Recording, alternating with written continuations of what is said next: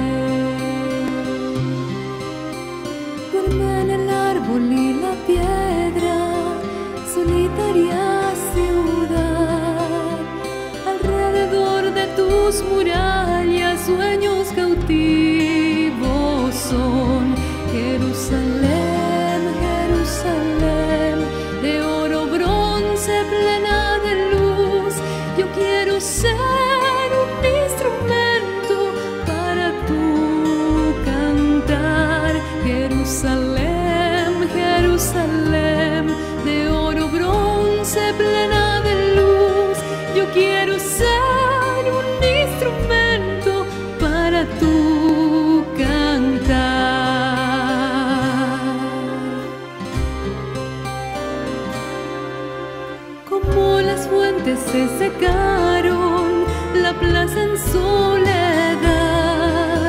No hay nadie que visite el templo en la santa ciudad.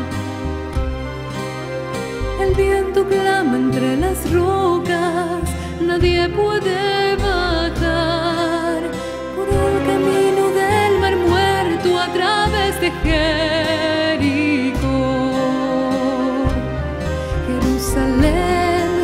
De oro, bronce, plena de luz. Yo quiero ser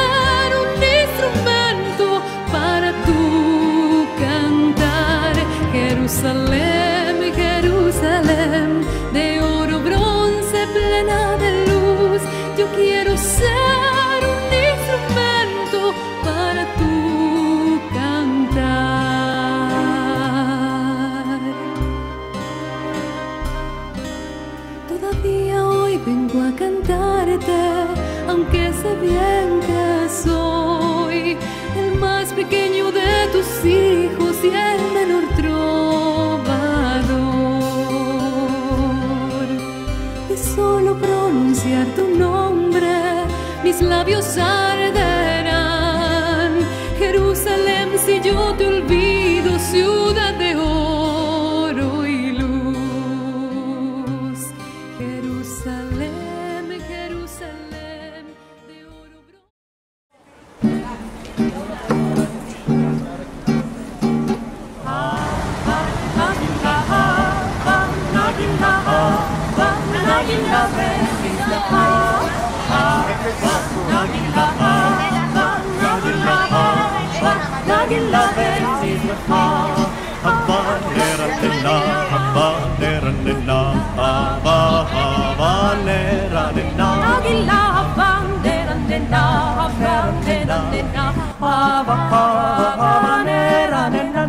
uru.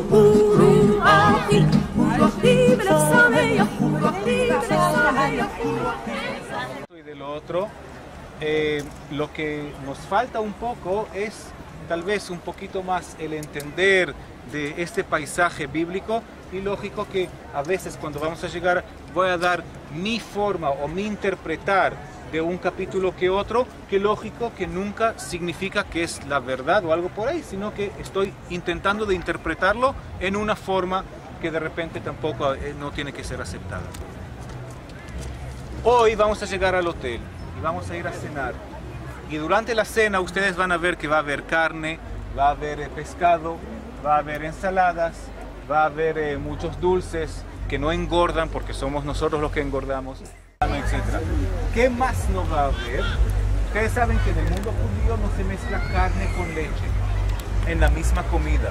O sea que si ahora vamos a cenar, no va a haber nada lácteo. ¿Por qué? Porque hay una frase bíblica que habla sobre la vaca y el becerro, que no se mezcla uno con el otro. O sea que la interpretación judía es que si tú ahora vas a cenar, vas a cenar carne, no va a haber nada lácteo.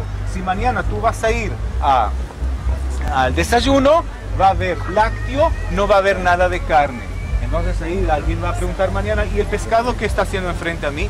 El pescado, de acuerdo al mundo judío, se puede comer pescado con escama. Está prohibido comer pescado sin escama. ¿Por qué? Porque el pescado con escama es un pescado vegetariano, que come vegetación y no otro animal.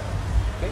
O sea que miren ustedes que en el mundo judío hay leyes, hay 613 leyes de esas leyes, hay leyes que hablan y tratan sobre el tema de la comida. ¿Qué puedes comer? ¿Qué no se puede comer?